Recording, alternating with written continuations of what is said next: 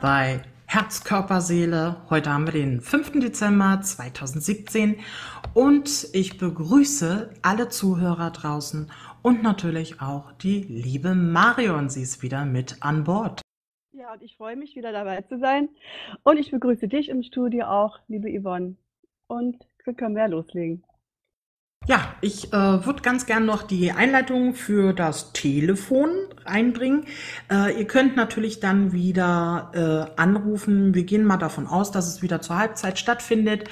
Und wenn wir ein bisschen ein paar Minuten überziehen, ist das auch nicht schlimm. Und aber die Telefonnummer ist dann heute 0 3 mal die 3 5 7969786. Und ich kann es natürlich wiederholen. 03 mal die 3 5 7969786. Ja, und wenn ihr gerne lieber statt anzurufen eine E-Mail schicken wollt, könnt ihr das auch gerne machen unter studio.ddb-radio.de. So, lieber Marion, wir hatten ja einen kleinen Break gehabt äh, bei der vorletzten Sendung vor zwei Wochen. Da warst du bei den Schüsslersalzen und äh, die hatten wir zwar bis zur drei, aber nicht gänzlich die drei fertig gemacht. Und ich würde sagen, dann beginnst du heute und äh, legst dann mal los. Und das wird bestimmt sehr, sehr viele Menschen interessieren. Mich natürlich auch. Und dann kommen wir, wenn du soweit bist, dann fangen wir dann an, oder ich, mit dem Zinkmangel, was da alles mit zusammenhängt, äh, wofür der gut, also wofür der gar nicht gut ist, sondern was im Körper passiert und äh, was es bedarf, um das wieder äh, herzurichten, was im Körper da geschädigt wird. Ja, dann äh, sage ich mal einfach, wir lassen das auch mal mit der Musik mal bleiben und wir fangen auch wie immer gleich mit dem Thema an. Bitte schön, Marion. Okay, dann knüpfe ich nochmal ähm, an die Nummer drei an. Das ist also Ferrum Phosphoricum.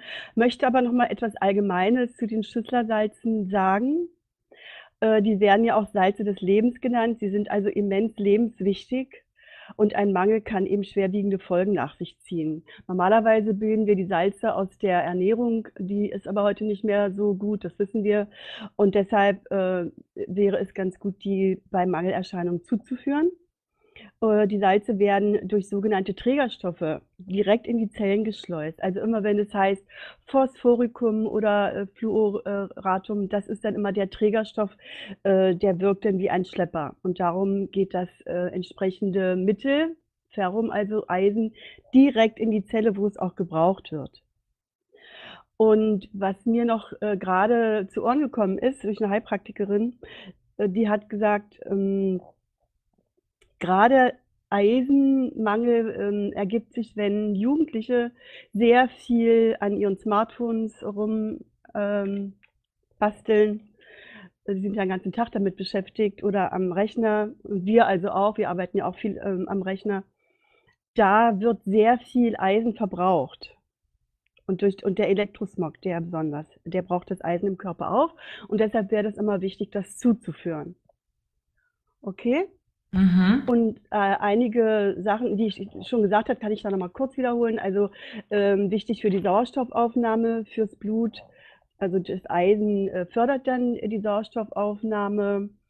Ist auch wichtig, dass bestimmte Eiweiß äh, in die Muskeln gelangt und ähm, dadurch natürlich wieder funktionsfähiger sind. und auch die Spannung der Blutgefäße und die Durchblutung wird wieder besser. Ja, und das Eisen, das wird eben dahin geschleust durch das Phosphor, wo es gebraucht wird. Ja. Und das ist eben das erste Mittel bei Erkältungen, wenn man merkt, es fängt gerade an, irgendwie Kopf drückt und Nase, bevor es anfängt zu fließen. Das ist eben das äh, erste Mittel bei Entzündungen, bei, bei beginnender Entzündung. Und es fördert noch die Ausscheidung von Giftstoffen, im immer im Anfangsstadium bei Entzündung auch nochmal. Ja, das war erstmal das. Ähm, ich würde jetzt äh, das andere, die anderen Salze ein bisschen kürzer fassen, weil sonst kommen wir damit überhaupt nicht durch und müssten nochmal eine Sendung machen. Und darum sage ich mal bei den anderen Salzen die wichtigsten Anwendungsgebiete. Naja, äh, du kannst es ja, wir können es ja auch so machen, wenn du das ein bisschen kürzer hältst. Ähm, für die Menschen, viele, viele Informationen sind auch sehr, sehr viel für die Menschen draußen. Äh, wir können natürlich da auch einen Link unter das Video setzen für die Schüsslersalze. Da können die Menschen sich das nochmal ganz in Ruhe durchlesen und sich auch noch die restlichen Informationen einfach holen, gell? Genau, da gibt es nämlich ein Schüsslersalze-Portal. Und da ist das alles ausführlich erklärt. Ja, das ist also sehr, sehr schön. Nochmal zu Ferrum Phosphoricum, wenn bei Kindern äh, gesehen wird, die haben Schatten unter den Augen, dann zum Heilpraktiker gehen und sich beraten lassen oder eben in die Apotheke. Diese Salze gibt es in der Apotheke und da einfach besorgen. Gut, dann komme ich jetzt mal zum vierten Salz, das ist das Kaliumchloratum. Ganz allgemein unterstützt es den Zucker- und Eiweißstoffwechsel also das ist auch bevor Diabetes überhaupt anfängt. Ja, wenn man schon merkt, oh, man verträgt Zucker nicht so gut, wenn man da sich unwohl fühlt, ähm, da kann man schon Kaliumchloratum zuführen. Es reguliert den Kaliumhaushalt im Körper und damit auch den Wasserhaushalt. Also Kalium und äh, Wasserhaushalt ist ja ein, ein ganz wichtiger Zusammenhang. Der hilft dann auch bei Bronchitis, beziehungsweise das Salz hilft bei Bronchitis, bei Stockhusten, gegen Übergewicht und bei Erkältungen, wenn sie dann schon etwas fortgeschritten sind. Bei Stockschnupfen und Entzündungen der Magenschleimhaut. Und bei Entzündungen und Fieber, das ist nochmal, wie gesagt, das zweite Stadium. Und es ist auch ganz wichtig ähm, bei Entzündungen der Gelenke. Also rheumatisch äh, ist nochmal was anderes, ist ja mehr chronisch, aber wenn die äh, Gelenke mal entzündet sind, dann hilft es dabei auch. So, dann gehe ich mal zum fünften Salz, das ist Kaliumphosphoricum. Das ist der Nährstoff überhaupt für Muskel- und Nervengewebe und er verhindert den Zerfall des Zellgewebes. Muss man natürlich früh genug mit anfangen wahrscheinlich. Wirkt auch stabilisierend auf Nerven, Körper und Seele. Hilft bei Schwächezuständen, bei Krämpfen, bei Hyperaktivität, also wenn Kinder äh, ich finde das auch natürlich, wenn Kinder rumzappeln, wenn die so lange in der Schule sitzen, äh, still sitzen müssen. Das ist schon anstrengend, denke ich mal. Also da kann man schon mal zappelig werden. Aber dennoch hilft das äh, Kaliumphosphoricum, wenn es dann eben äh, zu viel ist, ja, wenn man die Kinder gar nicht mehr ruhig kriegt. Bei kreisrundem Haarausfall hilft es auch. Also da gibt es Menschen, äh, ich habe das schon selbst mal erlebt in, in der Verwandtschaft, die wissen gar nicht, wo das herkommt, können damit nichts anfangen, können Perücken tragen sie dann manchmal, weil sie gar nicht mehr wissen, wie sie das ähm, verdecken sollen und haben meistens kein Mittel. Und da ist eben Kaliumphosphoricum ein Mittel der Wahl. Und es hilft bei Schlaflosigkeit und bei Antriebslosigkeit. Dann die sechste, das sechste Salz ist Kaliumsulfuricum, also Kaliumschwefel, ist wichtig für die Leistungsfähigkeit der Leber. Die Leber, wissen wir, ist das äh, größte Entgiftungsorgan, außer jetzt der Haut, der inneren Organe also, ist die Leber das wichtigste. Und äh, hat eine austreibende Wirkung und dadurch ist es eben wichtig für die Entgiftungsprozesse im Körper. Dann hilft äh, Kaliumphosphoricum noch bei äh, Sulfuricum bei allen Haut- und Lebererkrankungen, bei wandernden rheumatischen Schmerzen, bei Schlau Schleimhautentzündungen und bei chronischem Schnupfen. So, jetzt kommen wir mal zur heißen Sieben. Das ist Magnesium, Phosphoricum. Wird heiße Sieben genannt, weil es viel mit der Sieben zu tun hat. Es ist ähm, wird aufgelöst in heißem Wasser und man soll sieben ähm, Tabletten nehmen und möglichst um sieben Uhr abends. Bei akuten Koliken zum Beispiel. Also dann hilft es sehr schnell. Auch bei Krampfhusten, bei Muskelzuckungen, auch wieder bei rheumatischen Beschwerden, aber auch bei Prüfungsangst und bei Gefäßkrämpfen. Auch für Frauen, äh, die Probleme mit der Menstruation haben, die also Krämpfe haben. Dafür ist das sehr, sehr, sehr gut. Ähm, ich habe mal eine Frage. Äh, wenn du das so, so aufzählst, äh, ich finde das recht interessant.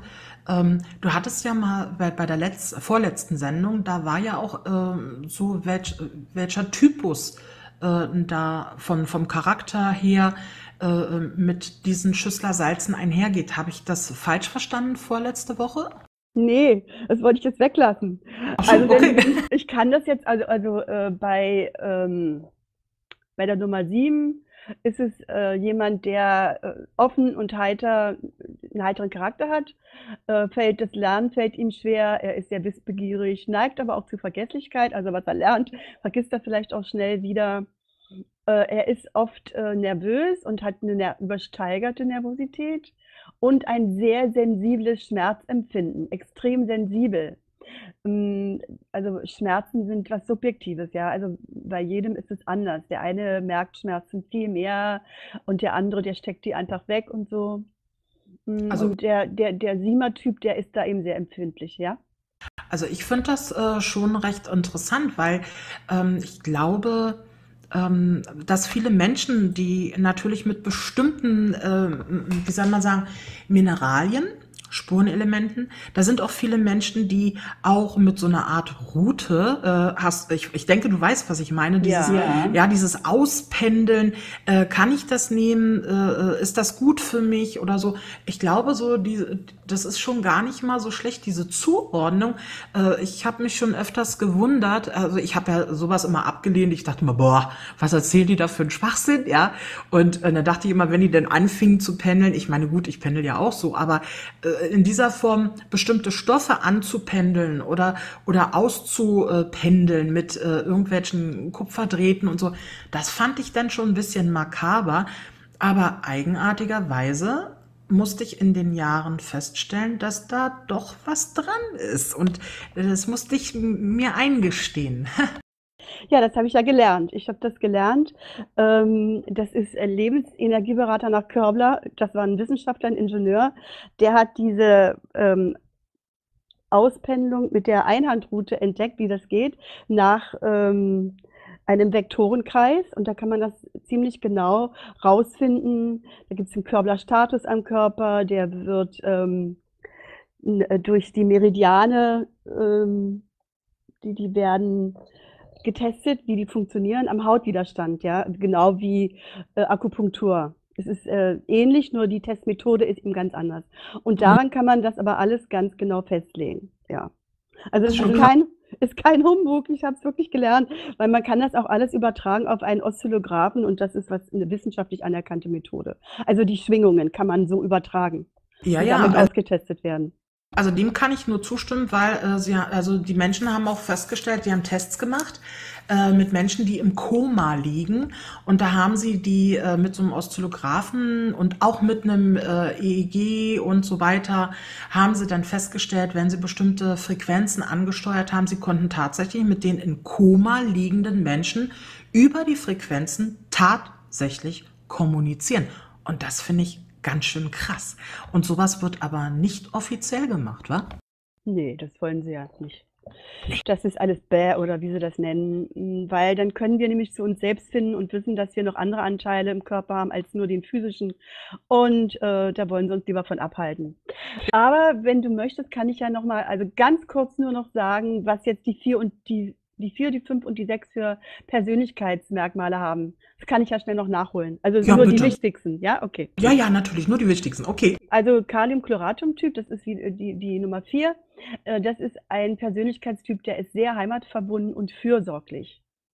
Sie möchten immer anderen helfen, und geraten dann oft äh, mit ihren eigenen Interessen in Konflikt, ja. Ähm, die müssen dann sehr darauf achten, dass sie selbst nicht zu kurz kommen. Aber mit zunehmender Lebenserfahrung gelingt es ihnen dann, äh, auf die eigenen Bedürfnisse auch Rücksicht zu nehmen und dann die Kompetenz dafür einsetzen. Weil sonst kann es ja passieren, dass ihnen jemand helfen muss und das wollen sie auch nicht. Also das ist so das, ja, und das ist so das Wichtigste ähm, für den Vierertyp. Ja, dann, äh, dann nehme ich jetzt mal den fünften noch.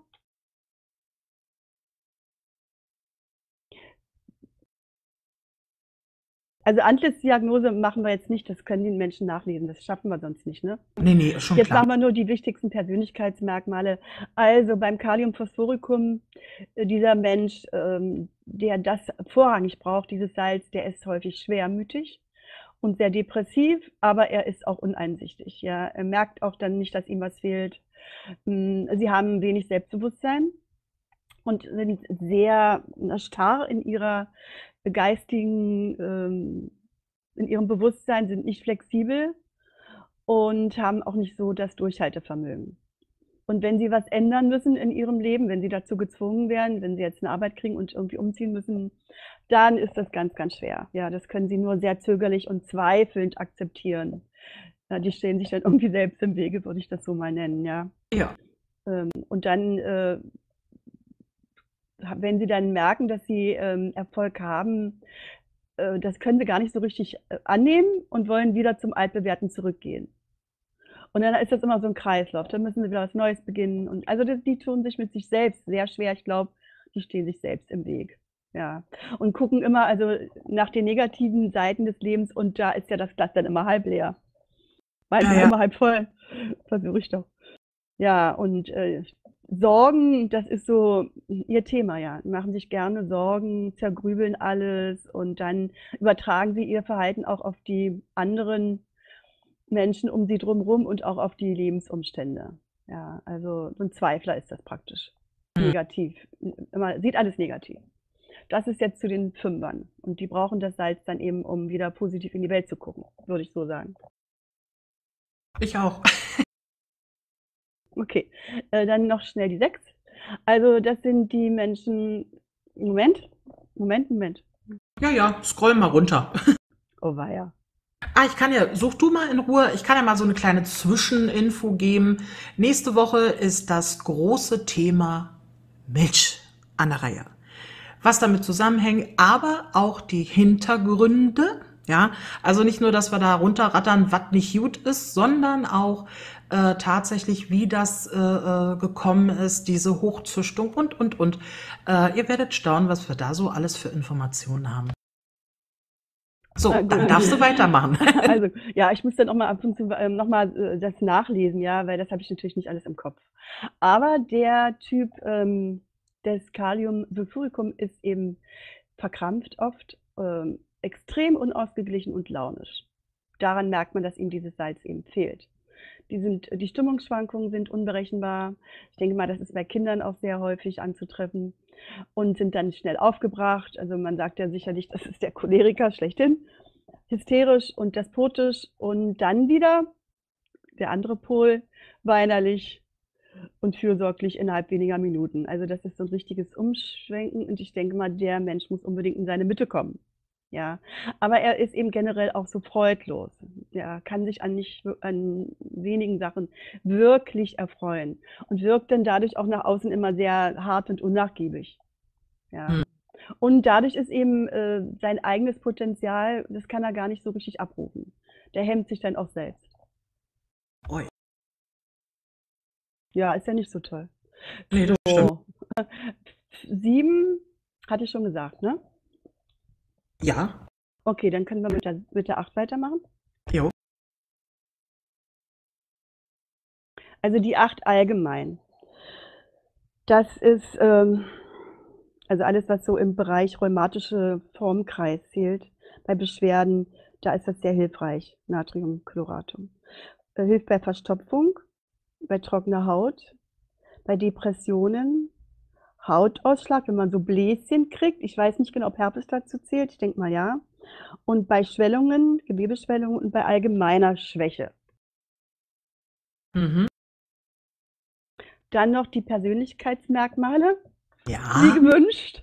ja, bitte. Also, der ist sehr äh, in sich verschlossen und so in sich gekehrt. Ja, also an den kommt man nicht ran. Man sagt ja mal, an den komme ich nicht ran. Wirkt äh, abweisend, aber auch fahrig und eigenbrötlerisch.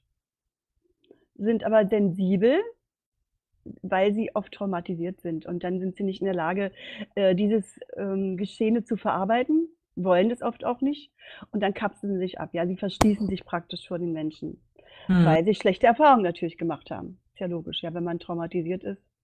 Ja, wenn äh, du, äh, Marion, äh, wenn man mal überlegt, hier bei Krankheit als Weg zum Beispiel, ja, ähm, und da ist es ja auch zum Beispiel so, die Menschen, die mit der, mit der Haut Probleme haben, äh, sind äh, eher so ein bisschen in sich gekehrt, obwohl sie gern nach außen hin auftreten wollen, aber äh, hierbei ist es ihr Schutzschild, ja.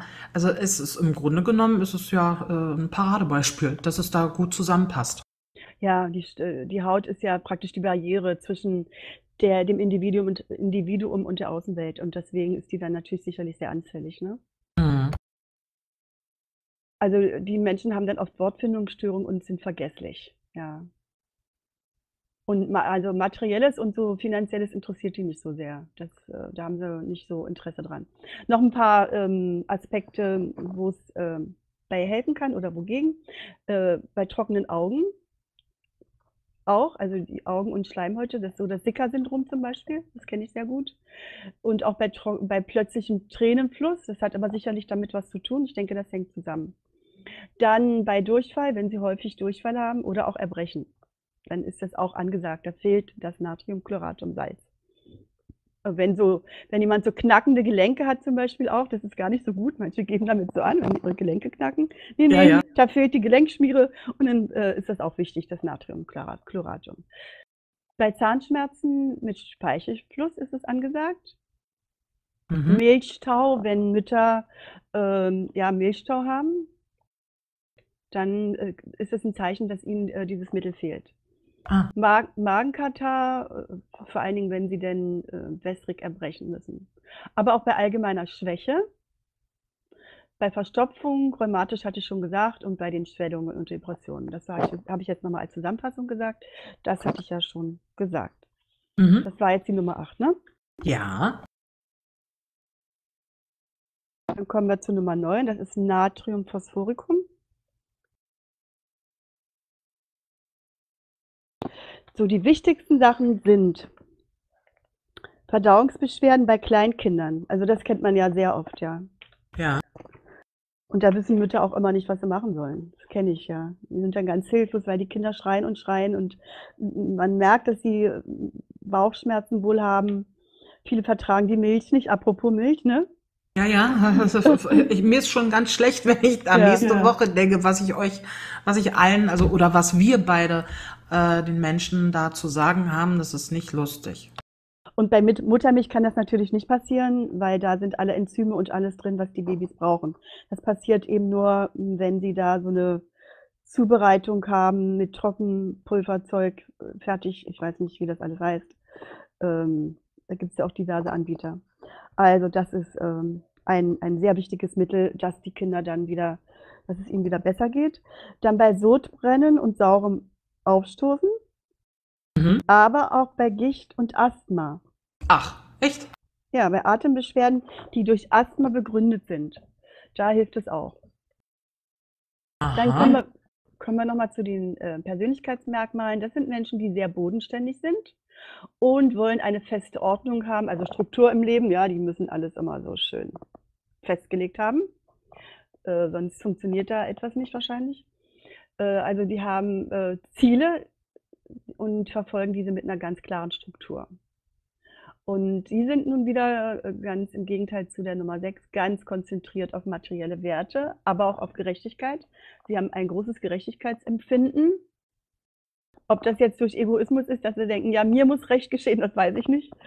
Äh, Das ist ja auch eine subjektive Sache, die Gerechtigkeit. Ne? Ja. Und sie wollen eben, äh, was sie erarbeitet haben, erarbeitet haben, Besitz äh, und das wollen sie gerne bewahren, schätzen das auch sehr, aber auch Familie und Freunde. Das äh, ist ihnen auch ganz, ganz wichtig. Aber sie können dann auch schon mal besitzergreifend sein, ähm, was ja dann für die anderen nicht so gut ist. Ne? Auf keinen Und- Fall. Ja, die können schon mal abgeschreckt werden. Und dann ähm, zählt es ihnen auch oft an Flexibilität sowie auch an Herzlichkeit. Und dadurch wirken sie sehr sensibel und unnahbar.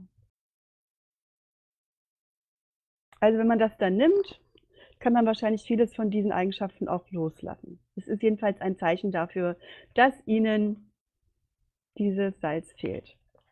Die Darreichungsformen wie D6 und D12, das sind so die häufigsten, die findet ihr denn in diesem Portal, Schüsslersalze-Portal. Das geben wir euch dann als Link rein. Mhm. Okay, dann machen wir jetzt die Nummer 10. Das ist Natriumsulfuricum.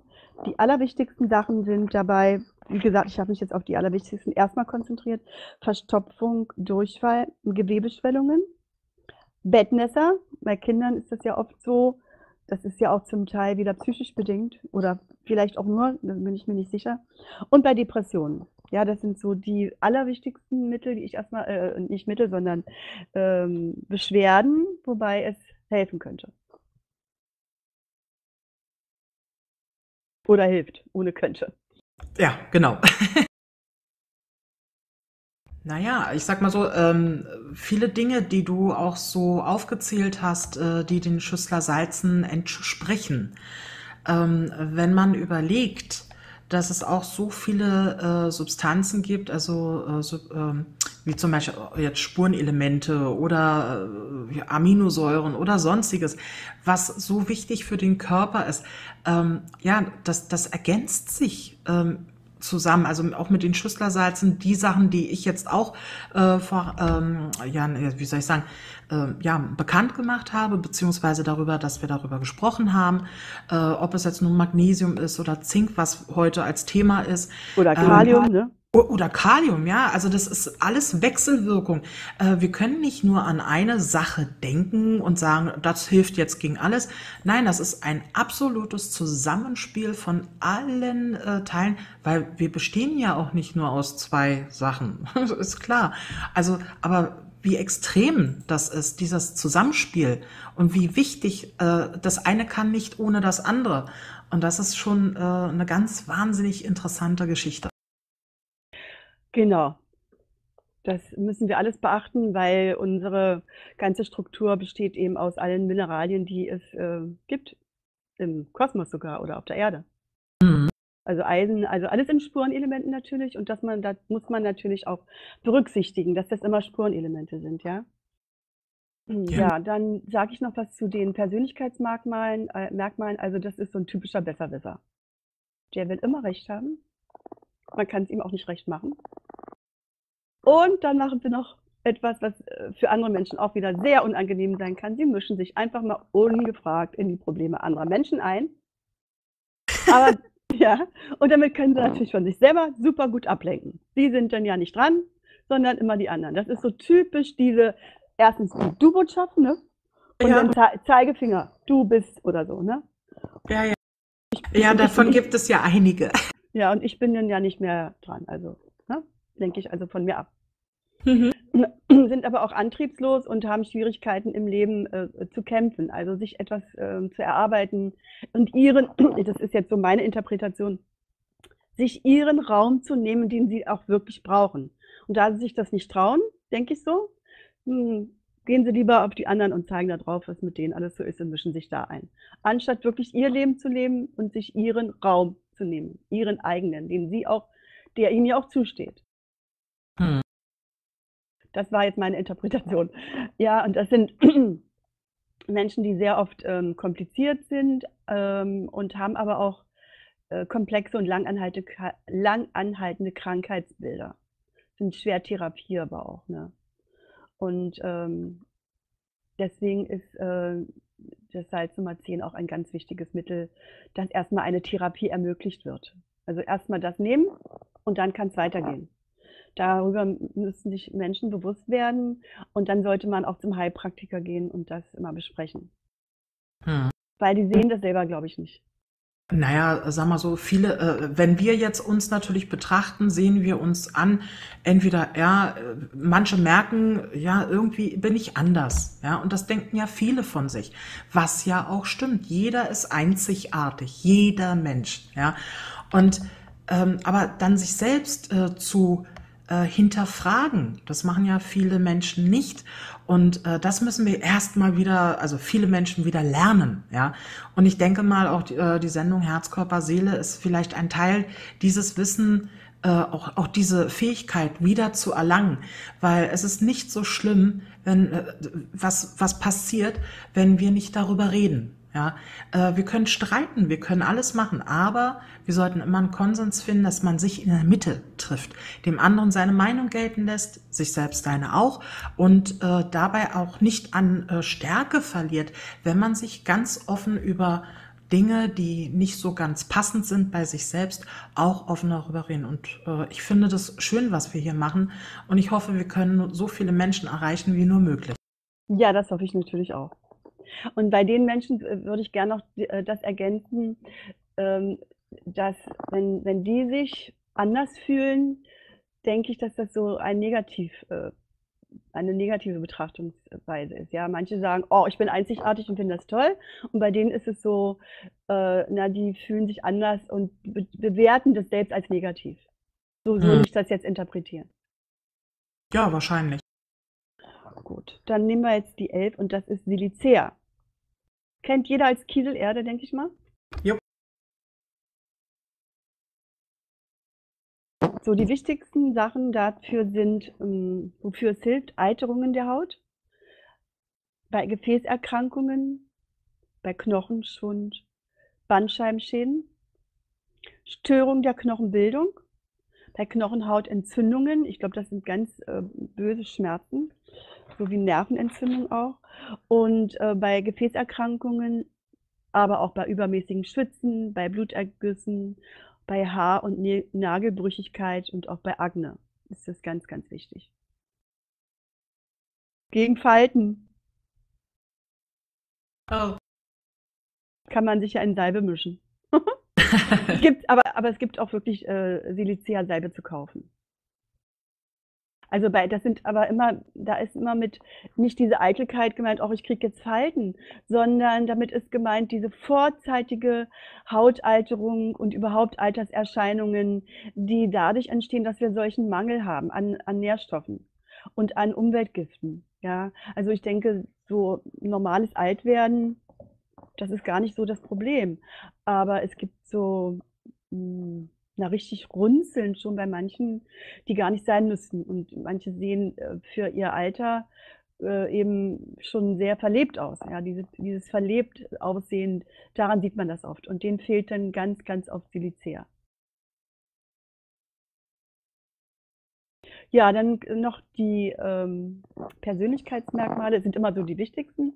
Also das sind ganz freundliche und zuvorkommende Menschen, sind sehr extrovertiert, ähm, stellen auch wieder ihre eigenen Bedürfnisse in den Hintergrund und sie streben nach Anerkennung und Lob und möchten sehr gerne im Mittelpunkt stehen. Das brauchen sie und äh, passen sich dann aber auch wieder an, stehen also wirklich nicht zu sich selbst. Und dann sind sie so, ja, sie demonstrieren ein Zusammengehörigkeitsgefühl, was sie selbst gar nicht so haben. Aber das ist so ein, so ein Gruppenzwang-Ding, denke ich mal. Also das findet man sicherlich auch bei vielen Jugendlichen. Und, und auch ein, ich denke, das wird auch ein Schutzmechanismus sein, mitunter. Ja, ja, absolut. Mhm. Und äh, die Silicea-Persönlichkeiten sind sehr körperbewusst, oft eitel, gelten als eitel, aber das ist auch so das, was ich äh, jetzt eben gemeint habe. Und sie stellen sich aber auch gerne selbst dar, sind wortgewandt, manchmal so spitzzüngig, ja, so ironisch und so. Mhm. In, An in Ansätzen rechthaberisch, also nicht so ganz krass wie der andere Typ, war die 10, glaube ich aber eben immer auch an Fakten orientiert. Und jetzt kommt, ich, ich sage das jetzt mal ja, man findet sie besonders häufig unter Moderatoren, Dozenten, Anwälten und Journalisten. Okay, ganz schnell, ich ganz schnell wieder weg. okay, ich gehe jetzt weg. das Thema ganz schnell wieder weg. Ah, naja, wir können auch an uns arbeiten ne? und, und gucken, ja, haben wir vielleicht davon ein bisschen zu viel oder davon fehlt uns was. Also, ist doch kein Problem, oder? Ja, an, andere Moderatoren sagen jetzt, reagieren jetzt auch. Bin weg. oh oh. Nee, nee, so ist das nicht gemeint. Oder? nein, nein, auf keinen Fall. Muss jeder selber wissen. Muss man immer so selbst entscheiden. Dann mache ich jetzt noch die zwölf und dann ist, das ist ja dann das letzte, das sind die wichtigsten Mittel. Es gibt ja noch ähm, zwölf weitere Funktionsmittel. Aber jetzt kommt das äh, letzte, was wirklich äh, diese lebenswichtigen Salze sind und das ist Kaliumsulfuricum. Nochmal ganz wichtig für Haut- und Schleimhauteiterungen. Ist das Mittel bei Leberfunktionsstörungen? Also es muss nicht gleich die Ziro äh, Zirrhose sein, ja. Kann man Mhm. auch schon mal vorher anwenden. Wenn man merkt, man, ver man verträgt keinen Alkohol. Ich denke mir, das ist ein ganz gutes Zeichen. Ja, ja, ich vertrage keinen. Ja, also das kann man ja auch mal testen, mal aussetzen oder so. Wichtig bei den äh, bei Entzündungen der Lymphknoten. Also Lymphknoten und die Lymphbahnen, die sind ja auch immer ganz wichtig äh, vom, äh, für das Entgiften des Zellgewebes, des Abflusses auch. Und da wird ja oft äh, was diagnostiziert, was gar nicht unbedingt da ist. Man muss einfach mal die Lymphe entgiften. Ja. Und da ist eben Calciumsulfuricum auch ein ganz äh, wichtiges Mittel bei diesen Entzündungen. Dann Mhm. ist es wichtig bei Wachstumsstörungen und auch nochmal hier wieder bei rheumatischen Erkrankungen. Wow, breit, breites Spektrum. Ja, und rheumatische Erkrankungen haben wir jetzt ja schon öfter mal gehabt. Ähm, Ich denke, da braucht man immer auch Kalzium und diese ganzen Geschichten. Ähm, Ich glaube, ich habe eben was Falsches gesagt. Ich habe also Calciumsulfuricum. Ich hoffe, ich habe nicht Kalium gesagt. Das ist Calcium. Und jetzt noch die ähm, Persönlichkeitsmerkmale. Mhm. Das sind so die Unentschlossenen. Die wi- wissen nicht, was sie machen sollen, was sie wollen. Ich glaube, die kommen auch morgens nicht so gut aus dem Bett, sind wenig willensstark und wollen sich überhaupt nicht festhalten. Nein, festlegen. Sie wollen sich nicht festlegen. Also sie äh, geben auch nicht gerne ihre Gedanken preis. Mhm. Behalten sie lieber für sich. Vielleicht haben sie Angst, dass man ihnen daraus einen Strick bringen könnte. Ich weiß es nicht. Und kann das auch gar nicht formulieren. Er kann, die können das nicht in Worte fassen. Und dann begeben sich in ähm, Abhängigkeit und erdulden Unterdrückung. Und das sind dann die typischen Opfer. Also. Opfer, Opfer ist ganz schwer.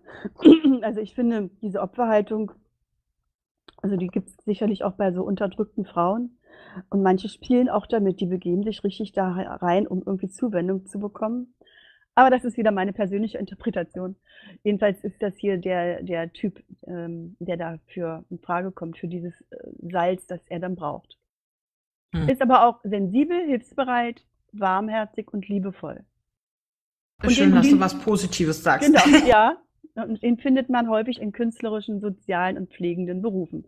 Also ich denke, das sind dann Menschen, die wirklich auch auf sich achten müssen, dass sie nicht zu kurz kommen und äh, dass sie das aber auch nicht, dass es auch wieder in gesunde Bahn gelenkt wird, dass es nicht Opfer ist und ähm, dass sie nicht zu kurz kommen, sondern einfach, dass sie in ihre gesunde Mitte kommen. Mhm. Ja, also noch wichtig für eitrige Bronchitis und äh, Haut- und Schleimhauteiterung hatte ich gesagt. Das steht hier nochmal so. Und dann wäre ich mit diesen wichtigsten Sachen erstmal durch. Und wir haben ja auch schon über die Hälfte der Zeit. Ach du lieber Gott. Ja, aber wir können ja auch mal fünf Minuten verlängern, ist ja gar kein Thema oder zehn. Je nachdem, also äh, die nächste Sendung wird wahrscheinlich noch ein bisschen massiger werden. Schon mal zur Information für alle, die noch neu zugeschaltet haben. Herz, Körper, Seele, klar. Äh, nächste Woche ist das große Thema Milch an der Reihe. Und da bitten wir dann auch die, äh, die Zuhörer, äh, uns gewogen zu sein, zuzuhören, weil da werden viele, viele Hintergrundinformationen äh, auch preisgegeben, die sonst so nicht jeder weiß. Ja, und äh, diese Informationen sind wichtig. Ja gut, aber wir können ja gerne mal, um ein kleines Babypäuschen zu machen, damit du auch was trinken kannst und so, äh, mal ein Liedchen einspielen zur kurzen Pause. Ähm, ja, und ich würde dann nach der Pause dann auch anfangen mit, ähm, ja, mit Zink. Wenn Ja, jemand ja. unter Zinkmangel leidet, und das ist schon echt brutal. Kann ich Da nur so sagen. da freue ich mich auch drauf, nochmal einiges Näheres zu erfahren, weil das hat man ja auch nicht immer im Kopf. Ja. Okay, bis gleich, ne? Bis gleich. Ja, da sind wir wieder bei Herz, Körper, Seele. und herzlich willkommen für alle neu dazugeschalteten Zuhörer und wir freuen uns, dass ihr dabei seid. Wir hatten äh, in, in, der ersten, ja, im ersten zwei Drittel hatten wir äh, das Thema Schüssler Salze und äh, das Thema ist bis zu äh, ja, Salz Nummer 12 gelangt. Und äh, jetzt fangen wir an und jetzt nochmal herzlich willkommen nochmal, Marion, auch zur Erinnerung, dass du da bist. und, Danke. Ja, bitteschön. Ja, und wir fangen jetzt an. Also äh, das Thema ist Zink. Zinkmangel, was passiert dabei? Und äh, Marion, wenn du äh, Fragen hierzu hast, kannst du sie gerne stellen. Ich hoffe, ich kann sie dann auch beantworten. Aber ich denke mal, das wird schon klappen. Naja, wichtig fangen wir erstmal an. Ja, genau. Also wichtig ist erstmal für alle Zuhörer, wir hatten ja auch vor, glaube ich, vor zwei Wochen war das, war? Da hatten wir Magnesium als Thema. Und äh, da hatten wir ja auch gesagt gehabt, Magnesium ist ja bei circa 300 bekannten alle wissen sie noch nicht, aber bei bekannten 300 Funktionen, Vorgängen im Körper zuständig. Das waren sehr, sehr viele Sachen, die, äh, äh, die wichtig waren. So, und jetzt kommt äh, das Zweite, was auch sehr, sehr wichtig ist und interessanterweise, hm, eigenartigerweise sogar, ist das Zink. Äh, auch an 300 Vorgängen beteiligt. Und Überall ähm, wo, äh, ist, also in den Zellen und so weiter, überall ist Zink. Äh, wir finden das in unseren Organen, in jeder Zelle und äh, also ja, es ist Wahnsinn, wo das überall drin steckt und wir wissen noch so wenig. Viele Menschen haben sich natürlich informiert darüber, ganz klar. Äh, ich sag auch mal so die ersten einzelnen Dinge, die fast die meisten auch wissen von euch, das ist ganz klar. Äh, zum Beispiel ähm, Zink belebt den Stoffwechsel, ja. Ähm, und wenn man jetzt zum Beispiel einen langsamen Stoffwechsel hat oder so, dann weiß man, es könnte eventuell möglich sein, dass äh, da ein Zinkmangel herrscht. Und interessant ist es auch, ähm, Zink hat auch zum Beispiel damit zu tun, dass wenn man zum Beispiel abnehmen will, genauso wie bei Magnesium, wenn ein Zinkmangel herrscht, kann es sein, dass man gar nicht so gut abnimmt. Und äh, auch das ist ganz schön krass. Wie auch bei dem Magnesium ist Zink äh, für den Muskelaufbau sehr, sehr wichtig. Auch die Hautgesundheit und die Heilprozesse im Körper sind so wahnsinnig wichtig. Äh, zum Beispiel ist es so, leidet man an einem Zinkmangel, so merkt man dies besonders an Haut- und Schleimhautprobleme sowie an einer schwachen Abwehrkraft. Das liegt daran, dass Haut- und Schleimhäute und das Immunsystem zu den Zellsystemen mit hoher Zellteilungsrate gehören. Bei Zinkmangel kann aber genau diese schnelle Zellteilung nicht mehr so rasant ablaufen, wie es für diese Zellsysteme nötig wären.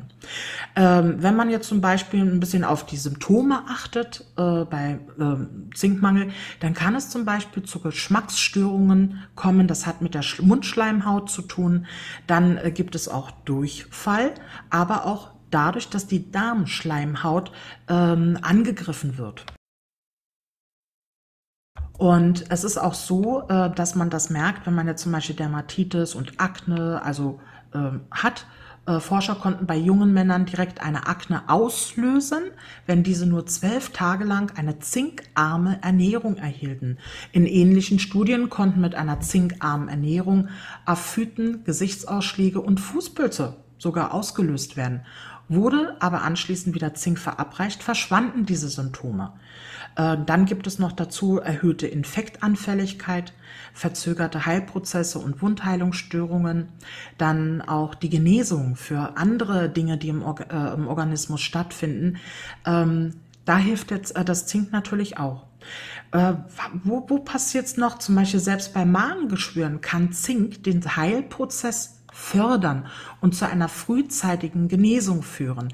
Die haben sehr viele Tests gemacht. Wusstest du das schon, Marion, dass ähm, ja Verstecktests gemacht wurden äh, von äh, unverbindlichen ähm, ja dritten Parteien, so dass das gar nicht so großartig rausgekommen ist?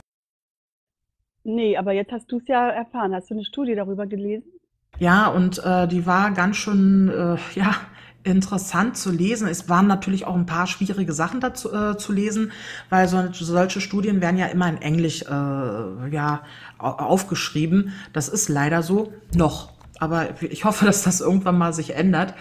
Und ähm, die haben so viele Dinge festgestellt, genauso wie mit dem Magnesium. Da wird ein Schindluder mitgetrieben und ähm, wenn, also der Zink fehlt im Körper, das, das ist Wahnsinn. Das ist so, äh, im Grunde genommen ist es Selbstmord, was da, äh, was man mit sich selbst macht, wenn man nicht genug weiß, äh, was, also wie, was man zu sich nehmen soll. Marion? Ja, was ja ein ganz großes Thema ist, sind diese Empfehlungen, zum Beispiel der WHO, wie viel man täglich braucht. Mhm. Und das wird dermaßen runtergefahren, also auf ein Minimum, äh, und, und der Bedarf, der, der tatsächliche Bedarf, der ist viel, viel höher. Also was man zum Beispiel bei Vitamin C immer sagt, was man braucht. Also es gibt äh, Forscher, die nehmen zwei Gramm am Tag. Das ist richtig, richtig viel. Und die WHO empfiehlt hier zwei Milligramm für Schwangere und für Männer zehn Milligramm Zink. Also da weiß ich nicht, ob das wirklich äh, hilft, ja. Ja, also die deutsche die Gesellschaft. Und die WHO zum Beispiel, die empfiehlt 15 Milligramm. Schon mal eine ganz erhebliche Abweichung, oder? Ja, auf jeden Fall. Also ich sag mal so, die Milligramm-Beträge äh, sind ja so, äh, die Empfehlungen hierzu äh, sind auch sehr, sehr schwankende. Selbst Ärzte wissen nicht genau, was sie da erzählen. Die erzählen manchmal so viel Müll, ja. Da muss man echt aufpassen und man muss ihnen nicht alles glauben. Also es ist wirklich wichtig an alle Zuhörer, auch an unsere äh, Leutchen, die, äh, ja, unsere Familien, Verwandte und so weiter.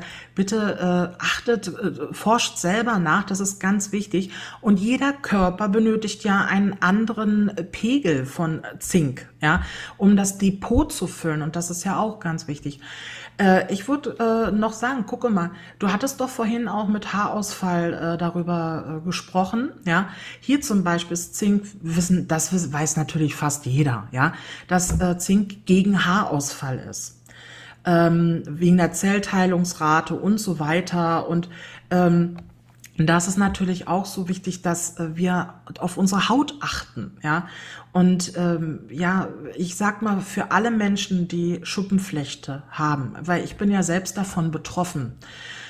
Äh, ich kann, ich habe was gefunden gehabt, äh, dass einen besonderen Zinkmangel aufweist, ist eine Sache, wenn man ähm, wie soll man sagen, wenn man Schuppenflechte nicht nur an den bekannten Stellen wie Ellbogen, Knie, Po und Rücken, sondern wenn man sie im Nacken hat, hinter den Ohren, in den Nasenwinkeln, ja, oder an den Augenbrauen, ja, also alles, was so gesichtmäßig, das ist ein absolutes ähm, Symptom für hohen, also hohen ähm, Zinkmangel. Krass, zu oder? wissen, ne? Das ist ja, und das ist sehr gut zu wissen. Da muss ich auch immer wieder dran erinnern, ich auch. Also ich habe das hier und ja, mal irgendwann bestellt und ja, und dann liegt es wieder rum. Man muss sich wirklich immer wieder daran erinnern, ach, habe ich dies, habe ich jenes, ach, und dann hilft doch Zink. Jetzt hast du mich sehr gut wieder daran erinnert. Danke dir. Ja, bittchen, bittchen. Äh, was ja auch zum Beispiel wichtig ist, also es ist auch so ein Tausendsasser wie Magnesium. Also ich, ich möchte mal beide ziemlich gleichsetzen, auch mit Kalium. Äh, zum Beispiel ist ja auch Zink sehr, sehr wichtig im Alter. Ja, äh, so hat man auch erfahren, auch für die geistige und neurologische Fitness bis ins hohe Alter ist Zink natürlich unentbehrlich wie Magnesium. So weiß man, dass die Patienten, die an Alzheimer oder Parkinson leiden, häufig viel zu niedrige Zinkwerte aufweisen. Ja, und äh, es hat sich auch ergeben im Zusammenspiel äh, mit Vitamin A, wenn man Zink nimmt. Und man äh, merkt dann so im Alter, äh, dass dann auch das Augenlicht beziehungsweise die Sehstärke nachlässt. Sie lässt nach wie der Zinkmangel. Ja, also wenn man höhere Dosen Zink nimmt oder beziehungsweise sein Depot äh, auffüllt, äh, dann werden auch die Augen besser, wenn man denn zum Beispiel natürlich mit Vitamin A das miteinander kombiniert. Äh, weil Zink ähm, macht es genauso wie bei Magnesium. Bestimmte äh, andere Spurenelemente, dass sie miteinander interagieren, ja, also miteinander verbunden sind. Und äh, was auch ganz schlimm ist, Marion, für alle Menschen, die auch draußen äh, zuhören und jetzt äh, auch Diabetes haben, und das ist ja nun wirklich ein Krankheitsbild, was viele Menschen haben. Zink ist überdies Bestandteil der Speicherform des Insulins, so dass es auch ganz besonders für Diabetiker entscheidend ist, den eigenen Zinkstatus zu überprüfen. Diabetiker mit niedrigen Zink Zinkwerten leiden überdies unter viel stärkeren Begleiterscheinungen wie Bluthochdruck, koronaren Arterienerkrankungen und erhöhten Triglyceridwerten. Wenn man dann noch bedenkt, wie häufig Diabetiker über schlecht heilende Wunden klagen, Zink aber genau diese Heilprozesse fördern können, wird schnell klar, dass Zink für Diabetiker außerordentlich wichtig ist. Und ich denke, das müssen sehr, sehr viele Menschen auch wissen, äh, weil ähm, auch bei Diabetes das Metformin, das viele nehmen, zerstören die Gefäßwände und machen noch viele andere Dinge kaputt. Sie sind ein B12-Killer und äh, alles andere. Und deswegen ist es für Menschen, die Diabetes haben, so wichtig, darauf zu achten, dass sie ihren äh, Zinkdepot wieder aufbauen. Ja, ist ja, auch, ist ja auch traurig, dass die Schulmedizin solche Sachen, alle Mineralien, alle Vitamine nicht untersucht, ob da ein Mangel besteht. Ja, das ist ja gar nicht vorgesehen. Die untersuchen alles Mögliche, gucken in den Körperteil rein, untersuchen das Blut angeblich. Aber was wirklich wichtig ist, das wird völlig außer Acht gelassen. Es könnte uns ja helfen, oder? Ja, ja, und das, soll's ja nicht. Ja, wir sollen ja alle, naja, gut, okay. Das ist jetzt zu negativ. Wir wollen ja positiv in die Welt blicken. Zum Beispiel, ähm, ähm, ich sag mal so, wir wissen ja alle, die mit der verfassunggebenden Versammlung zu tun haben, die auch alle schon äh, die Guidestones kennen, ja, äh, Georgias Guidestones, äh, um die Menschen zu dezimieren. Es klingt negativ, aber äh, da fragt man sich, warum äh, Zinkmangel? Jetzt bitte mal zuhören. Zink in der Schwangerschaft. Äh, also Zinkmangel wird mit massiven gesundheitlichen Auswirkungen während der Schwangerschaft immer wieder in Verbindung gebracht. Hierzu zählen unter anderem atonische Blutungen. Also das bedeutet, dass die Blutungen sich nicht mehr selbst stillen unzureichende Wehen, eine überlange Schwangerschaft sowie ein ungewöhnliches Geschmacksempfinden. Äh, jetzt überleg mal, liebe Marion, äh, man will äh, vielleicht, weiß ich, äh, saure Gurken haben und dann irgendwie Erdbeeren oder so. Das ist ja nun schon wirklich all, allzeit bekannt, dieses Phänomen. Das ist auf Zinkmangel zurückzuführen, zum Beispiel. Und da in der Schwangerschaft und in der Stillzeit der Zinkbedarf steigt, ist hier besonders darauf zu achten, dass auch wirklich genügend Zink aufgenommen wird. So, und nicht selten ist es jedoch so, dass eine Schwangerschaft gar nicht erst eintreten kann. Auch an diesem Problem könnte Zink beteiligt sein, wird es doch oft als Fruchtbarkeitselement bezeichnet. So, und damit möchte ich einfach mal die Tragweite allen Menschen bewusst machen, dass wer zum Beispiel unter Zinkmangel leidet und immer einen Kinderwunsch hatte und das schon seit Jahren und weiß das gar nicht und keine Kinder bekommen konnte, auch bei dem Mann, weil äh, das Zink ist ganz extrem stark in den Hoden drinne und, und äh, für die Produktion des, äh, des, des, der Spermien zuständig. Das muss man überlegen. Und auch dafür zuständig, dass Testosteron ent, äh, äh, entsteht und entwickelt wird. Ähm, und, und das ist alles wirklich ein Zusammenspiel. Dass, da, wenn man das, diese ganzen Verknüpfungen macht, dann weiß man, aha, Zinkmangel, weniger Produktion oder weniger Geburten. Ganz schön krass, oder Marion? Ja, das sind so wichtige Zusammenhänge, ja. Die müssen viel mehr eigentlich müssten sie ja vom Mainstream aufgegriffen werden, in Fernsehsendungen und, und, und, äh, muss darüber aufgeklärt werden. Wird nicht gemacht. Also machen wir es. Ne? Ganz genau. Und äh, natürlich können die Menschen auch dann wieder im Nachhinein die Sendung nochmal anhören. Und ähm, ja, und ich würde natürlich ganz gerne noch ein bisschen weitermachen, weil da sind so viele wichtige Sachen dabei. Und ich hoffe, ihr haltet durch äh, bis zum äh, Ende der Sendung. Ja. Und äh, ich würde ganz gerne euch auch noch sagen, äh, welche Medikamente zum Beispiel äh, den Zinkspiegel senken. Da ist es zum Beispiel interessant, wenn jemand Bluthochdruck hat, ja, ähm, ja, wie viel Zink pro Tag, das wird schon noch kommen, keine Sorge. Äh, Die Frage kam gerade aus dem Publikum. Ja, ähm, ja, ja, genau. Äh, Es ist einfach so. Zum Beispiel der ACE-Hämmer, der gegen Bluthochdruck genommen wird, ähm, verursacht äh, den Zinkmangel. Aber wenn der Zinkmangel da ist, verursacht er den Bluthochdruck. Äh, sehr komisch, oder? Naja, gar nicht so komisch. Aha. Ganz genau.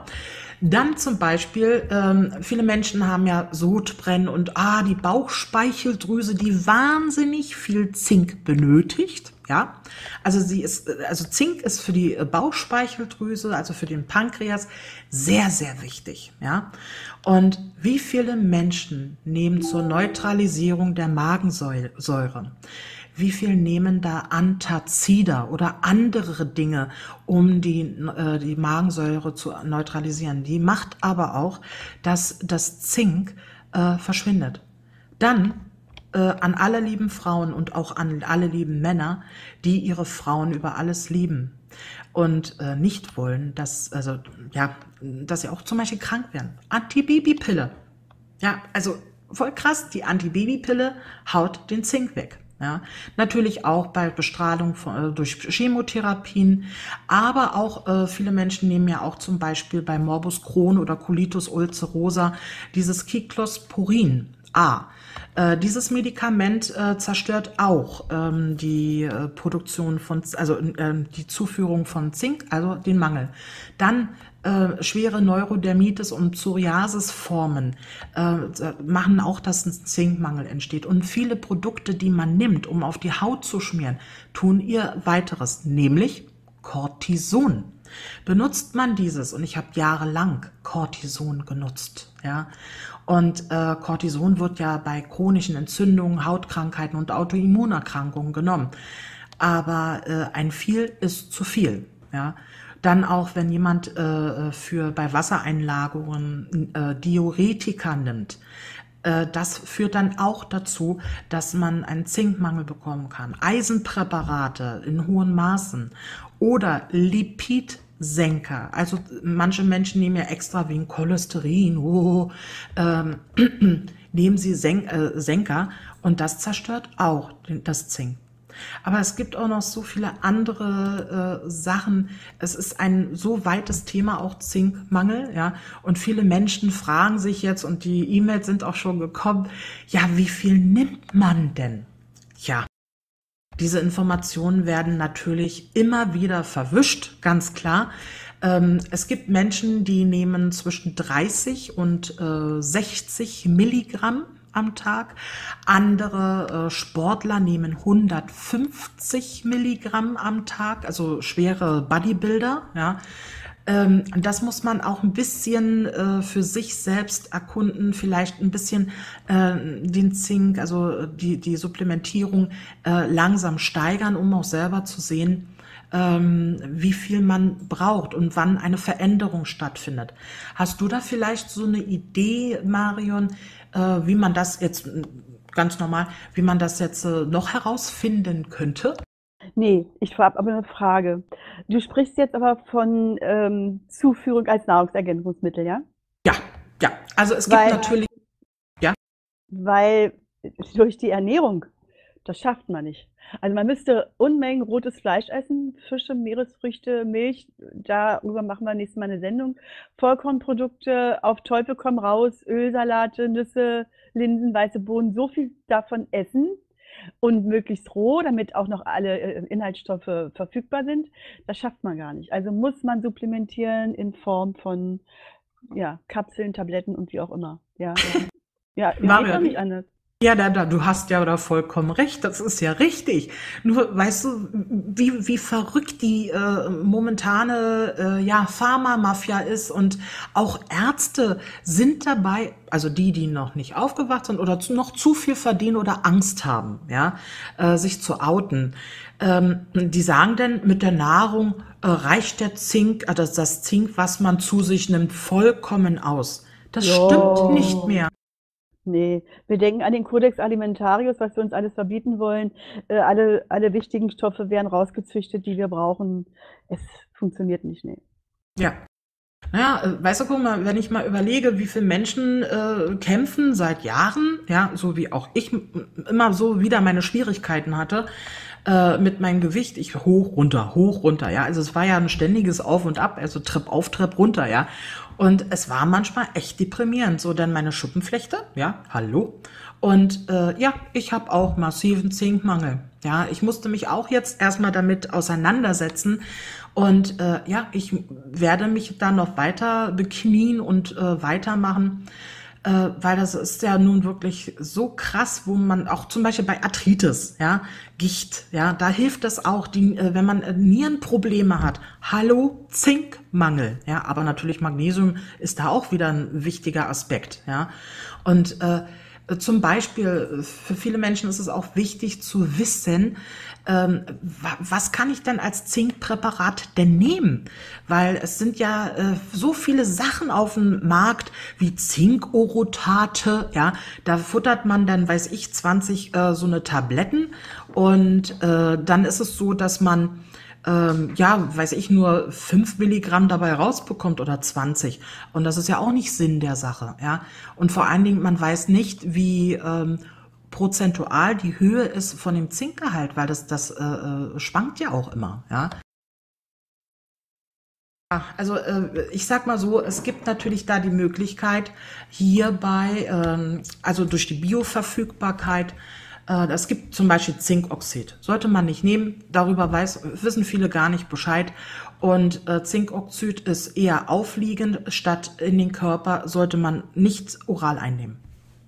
Dann haben wir Zinkgluconat. Das hat eine Höhe von, von der Bioverfügbarkeit, was der Körper verwerten kann, von 60,9 Prozent. Zinkcitrat äh, ist auch sehr hoch, hat 61,3 Prozent Bioverfügbarkeit, was es aus dem äh, das rausziehen kann. Dann gibt es noch interessanterweise, das ist auch noch nicht ganz so lange äh, ein Wissen, das ist Zink-Bisglycinat. Das ist eine sehr hohe äh, Verfügbarkeit. Die hat sogar mehr, äh, also 43 Prozent höhere Bioverfügbarkeit als Zinkglyconat. Aber äh, diese prozentuale Sache, den Link werde ich dann auf jeden Fall auch unter das Video setzen. Und ähm, ja, ich sag mal, es gibt, wie gesagt, noch viele, viele andere Sachen. Ähm, und ja, was meinst du, Mario? Möchtest du noch etwas wissen oder äh, wollen wir die Menschen jetzt einfach mit so viel Information etwas zur Ruhe bringen? Keine Ahnung, ich habe eine Ergänzung, wenn du magst. Ja, Und mach ich habe doch. ich hab auch ein Zinkpräparat. Ich sag dir mal, was da drin ist. Ja, 10 Milligramm, also pro Kapsel, 10 Milligramm Zink, Pantothensäure, hm, ich muss das mit der Lupe machen hier, äh, 30 Milligramm und Biotin, 150 Joule. Gra- Das, diese Einheit kann ich, das weiß ich nicht, wie die heißt. Also das ist unter Milligramm. Müsste ich nochmal nachgucken, wie die heißt, die Einheit. Mhm. Mikro, Mikrogramm, glaube ich, heißt die. Also Biotin, das ist immer ein guter Verbund, ja, Pantothensäure und Biotin dazu und äh, 10 Milligramm pro Kapsel, das ist nicht so schlecht. Also so mache ich das immer und ist auch eine gute Firma, aber ich weiß nicht, da dürfen wir wohl wieder nichts zu sagen, ne, wo wir das herkriegen, oder? ja. Naja, also sag mal so, ich meine, jeder sollte da auch ein bisschen selber ein bisschen forschen, äh, die Informationen hier mit reinnehmen. Es gibt ja natürlich auch noch Zinkchelat, ja. Äh, auch hier äh, ist es eine hohe, ja, ja, verhältnismäßig hohe Bioverfügbarkeit. Aber auch hier bitte, bitte lest euch die Dinge durch und glaubt nicht immer den ersten Seiten. Die besten Sachen findet man tatsächlich, wenn man ob Google oder Yahoo oder was weiß der Geier, ja, auf irgendeiner Suchmaschine bitte nicht immer die ersten 20 ähm, ja, Links nehmen. Äh, ja, also ich würde auch immer ein bisschen weiter nach hinten gucken, weil da kommen dann auch solche kleinen Informationen hier und da mal äh, zur Geltung, die man sonst übersehen hätte. Ähm, worauf aber ganz, ganz wichtig zu achten ist. Äh, wir haben ja gesagt gehabt, äh, dass Magnesium natürlich, das habe ich ja schon gesagt, Magnesium und Zink nicht zur gleichen Zeit aufgenommen werden äh, dürfen, also ähm, per also orale Einnahme. Äh, das gilt natürlich bei dem Zink, ist ganz wichtig, weil Zink nimmt äh, der, dem Magnesium seine Wirkkraft. Ja, und das ist auch ähm, bei dem Zink mit anderen Sachen so. Zum Beispiel Zink beeinflusst den Kupfer- und Eisenstoffwechsel. Man sollte, wenn man Eisenpräparate nimmt, äh, das Zink nicht zusammen einnehmen. Dann ist es auch so, Calcium verdrängt Zink.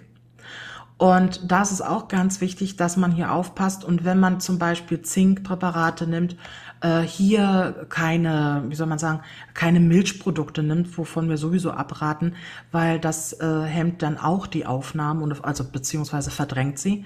Phosphor und Zink gemeinsam hemmen die Magnesiumaufnahme.